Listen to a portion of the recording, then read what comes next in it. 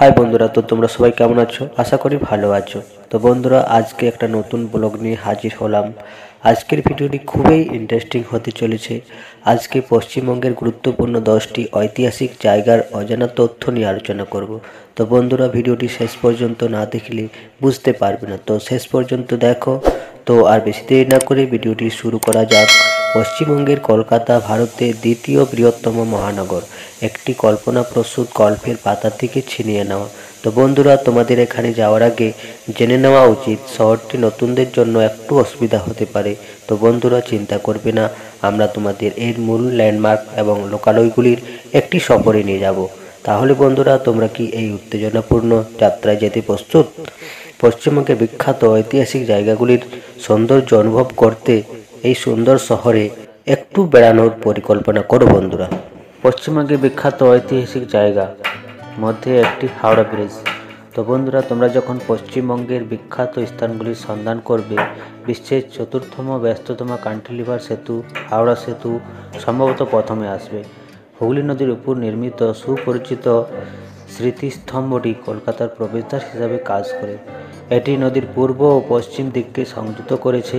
তো বন্ধুরা, এই আশ্চর্যময় সেতুটি নির্মাণ শুরু হয় উনিশশো উনচল্লিশ থেকে উনিশশো পঁয়ষট্টি সালে। রবীন্দ্রনাথ ঠাকুরের সম্মানে এই নামকরণ করা হয় রবীন্দ্র সেতু। রাতের বেলায় আলো পড়লে হাওড়া ব্রিজটিকে আশ্চর্যময় দেখায়, যা পর্যটকদের আকর্ষণে পরিণত হয়। তো বন্ধুরা, তোমরা রাতে হাওড়া ব্রিজটি দেখতে চাইলে মিস করবে না। ভিক্টোরিয়া মেমোরিয়াল। তো বন্ধুরা, ভিক্টোরিয়া মেমোরিয়ালটি শহরের কেন্দ্রস্থলে অবস্থিত। পশ্চিমবঙ্গের কলকাতায় অবস্থিত রানী ভিক্টোরিয়ার একটি স্মৃতিসৌধ। উল্লেখ্য, ভিক্টোরিয়া ভারত সাম্রাজ্যী উপাধির অধিকারী ছিলেন। আগাগোড়া শ্বেত পাথরের তৈরি ইংল্যান্ডেশ্বরী মহারানী ভিক্টোরিয়া নামাঙ্কিত এই স্মৃতিসৌধটি বর্তমানে একটি জাতীয় প্রদর্শনীয় শালা, জাদুঘর এবং কলকাতার অন্যতম গুরুত্বপূর্ণ পর্যটন কেন্দ্র। তো বন্ধুরা ভিক্টোরিয়া মেমোরিয়ালটি সাদা মার্বেল থেকে দুর্দান্তভাবে তৈরি করা হয়েছে এবং বিলাসিতাকে ছাড়িয়ে গেছে। ভিক্টোরিয়া মেমোরিয়ালের একটি ল্যান্ডমার্ক স্ট্রাকচার যার চারপাশে মূর্তিসহ একটি সুসংরক্ষিত সুন্দর বাগান রয়েছে। তো বন্ধুরা বেলুর মঠের কিছু দৃশ্য আমাদের সাথে তুলে ধরছি। তো বেলুর মঠ হল রামকৃষ্ণ পরমহংসের প্রধান শিষ্য স্বামী বিবেকানন্দ কর্তৃক প্রতিষ্ঠিত রামকৃষ্ণ মঠ। ও মিশনের প্রধান কার্যালয়। ভারতের পশ্চিমবঙ্গ রাজ্যের হাওড়া শহরে বেলুর অঞ্চলে হুগলি নদীর পশ্চিম পাড়ে অবস্থিত বেলুর মঠ। কলকাতা সন্নিহিত অঞ্চলের অন্যতম দ্রষ্টব্যস্থল বেলুর মঠে রামকৃষ্ণ মন্দির, রামকৃষ্ণ ভাব আন্দোলনের প্রাণ কেন্দ্র। এই মন্দিরটি হিন্দু, ইসলামী, বৌদ্ধ ও খ্রিস্টান স্থাপত্যের মিশ্রণে নির্মিত একটি গুরুত্বপূর্ণ স্থাপত্য নিদর্শন। তো বন্ধুরা এই বেলুর মঠটি চল্লিশ একর জমির উপর অবস্থিত। মূল মঠ প্রাঙ্গণে রামকৃষ্ণ পরমহংস, সারদা দেবী, স্বামী বিবেকানন্দের দেহাবশেষের উপর অবস্থিত মন্দির ও রামকৃষ্ণ মিশনের সদর কার্যালয় অবস্থিত। এছাড়াও স্বামী বিবেকানন্দের ব্রহ্মানন্দ মন্দির ও রামকৃষ্ণ মঠ ও মিশনের ইতিহাসকে তুলে ধরার লক্ষ্যে একটি সংগ্রহশালাও এখানে স্থাপিত হয়েছে। বেলুর মঠ সন্নিহিত একটি প্রাঙ্গণে গড়ে উঠেছে রামকৃষ্ণ মিশন, অনুমোদিত বিভিন্ন শিক্ষা কেন্দ্র। স্বামী বিবেকানন্দের পূর্ব পরিকল্পনা অনুসারে মন্দিরের নকশা নির্মাণ করেছিলেন রামকৃষ্ণ পরমহংসের উপর সাক্ষাৎ শিষ্য স্বামী বিবেকানন্দ। বেলুর মঠ ভারতের একটি প্রধান পর্যটন আকর্ষণ এবং ভক্তদের নিকট একটি পবিত্র তীর্থ। দুয়ারি রাজপ্রাসাদ। তো এটা একটা ঐতিহাসিক জায়গার মধ্যে গুরুত্বপূর্ণ একটি জায়গা। তো ব্রিটিশ যুগে বাংলার এক বৈশিষ্ট্যপূর্ণ ঐতিহাসিক নিদর্শন হলো হাজারিদুয়ারি বিশাল আকার এই প্রাসাদী প্রত্যেকটি হলঘর, অনুপম সৌন্দর্যের আলোকে সজ্জিত। বাংলার নবাবী আমলে স্থাপত্য কলার এক উজ্জ্বল প্রতিফলন হলো এই হাজারিদুয়ারি প্রাসাদে। হাজারিদুয়ারি প্রাসাদে এখন ভারতীয় কেন্দ্রীয় সরকার দ্বারা নিয়ন্ত্রিত। এখানে দেশ বিদেশের ভ্রমণ পিপাসু মানুষের জন্য একটি অন্যতম সেরা ঐতিহাসিক নিদর্শন। এখানে মাসে অত্যন্ত তিরিশ হাজার মানুষ এর বেশি অনুগম হয়। হাজারিদুয়ারির অবস্থান ভারতের পশ্চিমবঙ্গ রাজ্যের মুর্শিদাবাদ জেলায় লালবাগ নামক অঞ্চলে। এর পাশ দিয়ে ভাগীরথী আপন রূপ নিয়ে প্রবাহিত হয়েছে বহু দূরে সাধারণত এই প্রাসাদটি এক হাজার দরজা বিশিষ্ট বলে তাই একে হাজারি হাজারিদুয়ারি প্লেস বলা হয়। বাইরে থেকে ও ভিতর থেকে হাজারদুয়ারিতে এক হাজার দরজা দৃশ্যমান হলেও এর মধ্যে একশো দরজা আলোপেই নকল। অথচ দূর থেকে পুরোপুরি আসল বলে মনে হয় সব দরজাগুলোই। হাজারিদুয়ারির চমক শুধু তার দুয়ারেই না, ঘরগুলোও মনোমুগ্ধকর। ভারতের পশ্চিমবঙ্গ প্রদর্শনের মুর্শিদাবাদে অবস্থিত একটি রাজপ্রাসাদ। এই প্রাসাদে এক হাজার দরজা আছে, তার থেকে প্রাসাদের এর নামকরণ হয়েছে।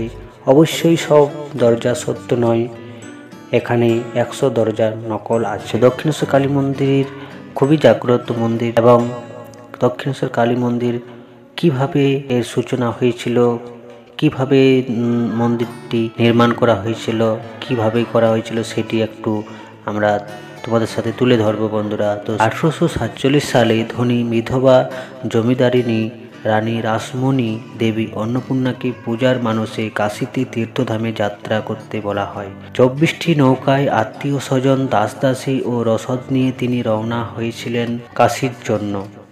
কিংবদন্তি অনুসারে যাত্রায় পূর্বরাতে রানী দেবী কালীর স্বপ্ন দর্শন পান। দেবী তাকে বলেন, সে কাশি যাওয়ার প্রয়োজন নেই রাসমণি। গঙ্গা তীরেই একটি নয়নাফিরা মন্দিরে আমার মূর্তি প্রতিষ্ঠা করো এবং আমি ওখানেই পুজোতে সন্তুষ্ট হব। সেই মূর্তিতে আবির্ভাব হয়েই আমি পূজা গ্রহণ করব। এই স্বপ্নের পর রানী অবিলম্বে গঙ্গা তীরে জমি ক্রয় করেন এবং মন্দির নির্মাণ কাজ শুরু করেছিলেন। আঠারোশো সাতচল্লিশ সালে এই বিরাট মন্দিরের নির্মাণ কাজ শুরু হয়েছিল এবং শেষ হয়েছিল আঠারোশো পঞ্চান্ন সালে। এই দক্ষিণেশ্বর কালী মন্দির এইভাবেই শুরু হয়েছিল বন্ধুরা। কালিম্পং হচ্ছে একটি নেপালি তিব্বতী। ভারতের পশ্চিমবঙ্গ রাজ্যের শৈল শহর নিম্ন হিমালয় এই গড় উচ্চতা হচ্ছে বন্ধুরা এখানে বারোশো পঞ্চাশ মিটার আর চার হাজার একশো এক ফুট। কালিম্পং জেলার কালিম্পং মহকুমার সদর শহর। শহরের উপকণ্ঠে ভারতীয় সেনাবাহিনীর সাতাশ মাউন্টেন ডিভিশন অবস্থিত। কালিম্পংয়ের পরিচিত রয়েছে শহরের শিক্ষা প্রতিষ্ঠানগুলির জন্য। এইগুলির অধিকাংশই ব্রিটিশ আমলে স্থাপিত হয়েছিল। চীনের তিব্বত আগ্রাসন ও ভারত চীন যুদ্ধের আগে পর্যন্ত এই শহর ছিল ভারত তিব্বত বাণিজ্য দ্বার। উনিশশো আশি এর দশক থেকে কালিম্পং ও প্রতিবেশী দার্জিলিং পৃথক গোর্খাল্যান্ড রাজ্য আন্দোলনের প্রধান কেন্দ্র। দার্জিলিং হল ভারতের পশ্চিমবঙ্গ রাজ্যের একটি শহর ও পুরসভা। এই শহরটি হিমালয়ের শিবালিক পর্বতশ্রেণীতে সমুদ্রপৃষ্ঠ থেকে ছ হাজার সাতশো উচ্চতায় অবস্থিত। শহরে চা শিল্প, বিশ্বের তৃতীয় উচ্চতম পর্বতশৃঙ্গ, কাঞ্চনজঙ্ঘার দৃশ্য ও ইউনেস্কো বিশ্ব ঐতিহ্য, দার্জিলিং হিমালয়ান রেলের জন্য খ্যাত এই জনপ্রিয় পর্যটন কেন্দ্র। পশ্চিমবঙ্গের আংশিক স্বায়ত্তশাসিত জেলা দার্জিলিংয়ের সদর দপ্তর এই শহরে অবস্থিত এবং দার্জিলিং নামটি তিব্বত শব্দ থেকে এসেছে। দর্জে অর্থ মানে হচ্ছে ব্রজধ্বনি মূলত ইন্দ্রের রাজদণ্ড এবং লিঙ্গ একটি জায়গা বা জমি। সুতরাং বজ্রদেশের দেশ দার্জিলিংয়ের ইতিহাসে একটি বছরটি ছিল আঠেরোশো পঁয়ত্রিশ, তবে এর আগে এর ইতিহাস সন্ধান করা খুবই উপযুক্ত হবে। এবং দার্জিলিংয়ের সবচেয়ে গুরুত্বপূর্ণ হচ্ছে চা চাষ। চা শিল্পে বিখ্যাত। চলে এলাম শান্তিনিকেতনে।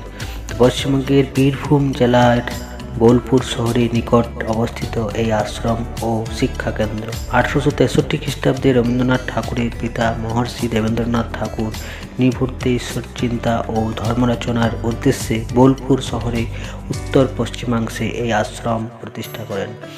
উনিশশো এক সালে রবীন্দ্রনাথ ঠাকুর শান্তিনিকেতনে ব্রহ্ম বিদ্যালয় প্রতিষ্ঠা করেন, যা কালক্রমে বিশ্বভারতীয় বিশ্ববিদ্যালয়ের রূপ নেয়। উনিশশো আঠারো সালের তেইশে ডিসেম্বর বিশ্বভারতীয় ভিত্তি ভিত্তিপ্রস্তর স্থাপন করেন স্বয়ং রবীন্দ্রনাথ।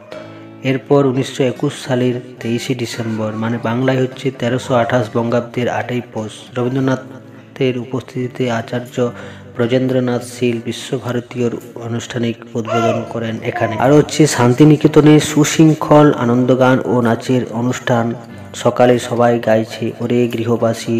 খোলো দ্বার খোলো। লাগল যে দোল, ধর্মের ছুতমার সামাজিক বিধিনিষেধ বা লোকাচারের বাড়াবাড়ি এর কিছুই আসতে পারেনি রবীন্দ্রনাথের শান্তিনিকেতনে।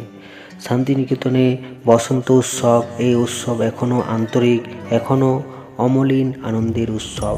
ফোর্ট উইলিয়াম যা ভারতবর্ষের একটি অন্যতম ঐতিহাসিক জায়গা। ভারতের পশ্চিমবঙ্গের রাজধানী কলকাতায় হুগলি নদীর তীরে অবস্থিত একটি দুর্গ।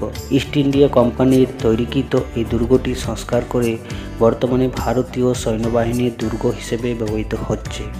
ইংল্যান্ডের রাজা উইলিয়ামের তৃতীয় এর নাম অনুসারে এর নামকরণ করা হয়েছিল ফোর্ট উইলিয়াম। সতেরোশো খ্রিস্টাব্দে এর নামকরণ করা হয় ফোর্ট উইলিয়াম। স্বাধীন ভারতে এর ব্যাপক সংস্কার করে আধুনিক ফোর্ট উইলিয়াম সেনানিবাসে পরিণত করা হয়েছে। তো বন্ধুরা, বর্তমানে এখানে ফোর্ট উইলিয়ামের সেনানিবাসে প্রায় দশ হাজারের ও বেশি সৈন্য বসবাস করে এবং সৈন্যদের আবাসিক সুবিধা সহ আধুনিক পণি, বিতান, সিনেমা হল, খেলাধুলার উপযোগী সকল ব্যবস্থায় এতে আছে। জোড়াসাঁকো ঠাকুরবাড়ি জোড়াসাঁকো ঠাকুরবাড়ি পরিবারের বাসভবন জোড়াসাঁকো ঠাকুরবাড়ি এই অঞ্চলে অবস্থিত। রবীন্দ্রনাথ ঠাকুরের জন্মস্থান জোড়াসাঁকো, বাংলার নবজাগরণের ইতিহাসে এক বিশিষ্ট স্থানের অধিকারী। ঠাকুরবাড়ি বর্তমানে রবীন্দ্রনাথ ভারতী বিশ্ববিদ্যালয়ের প্রধান শিক্ষা প্রাঙ্গণ।